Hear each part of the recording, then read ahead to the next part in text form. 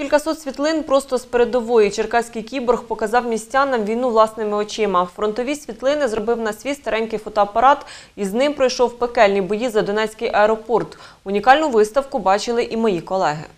Портрети, пейзажі і навіть натюрморти – усе у стилі мілітарі, але реального. На світлинах кіборга руїни Донецького литовища, розбита техніка та фронтові побративи автора.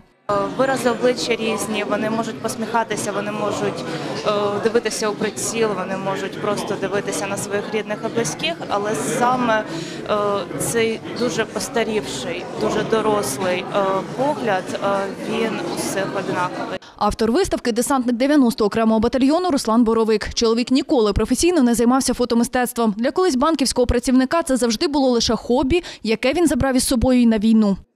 Це на 35 мм, звичайно, 1,8 е, Нікоровський об'єктив. Звичайно, кажуть, простий дешевий об'єктив і свято, світосильний.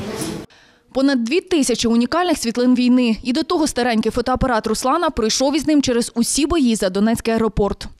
Інколи знімав під час бою, інколи відкладував зброю, брав е, і дивився як кажуть, на, ці події, вже на цей бій через е, відеоіскатель фотоапарати, через об'єктив.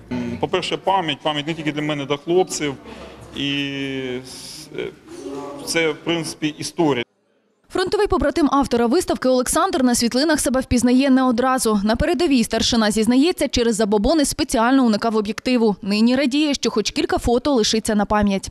Я не знаю, як він мене зловив, я вам кажу щиро і відверто. Як це він мене зловив, я не розумію.